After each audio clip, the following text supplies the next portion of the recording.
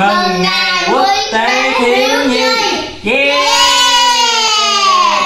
Xin chào cả nhà nhé, hôm nay là ngày quốc tế thiếu nhi nên gia đình mình sẽ làm rất là nhiều món đãi cho hai đứa nhỏ nha. Toàn mà những món mà hai đứa nhỏ thích không hà. Nào là cơm cuộn nè, gà chiên, bò cuộn nấm kim châm, lẩu riêu cua, trời ơi hấp dẫn quá hà. Ta nói để bữa tiệc hôm nay thành công thì do công lớn cũng là vợ mình không nha. Sáng sớm đã đi mua đồ hết rồi, mình thì chiều đi làm về thì phụ chế biến thôi.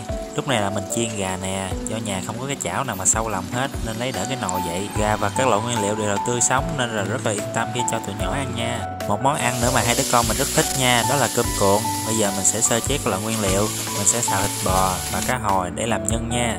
Thường thì mình thấy người ta hấp cá hồi nhưng hôm nay mình sẽ chiên cho cá hồi được thơm và dễ ăn nha.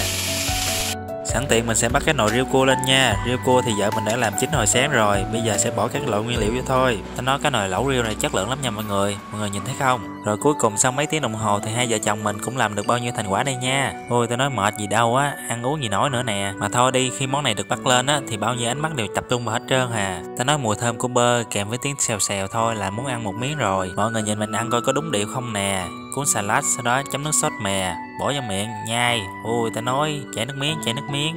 Ăn món mặn xong bây giờ qua tới cái lẩu nha mọi người. Mọi người nhìn thấy không? Có tôm, nấm, hột vịt lộn, riêu cua, các loại rau. Ôi ta nói hấp dẫn quá trời. Làm hết tô này là tối nay ngủ ngon chắc luôn. Chúc các con có một ngày quốc tế thiếu nhi. Thật là hạnh phúc và vui vẻ bên gia đình nha. Bye.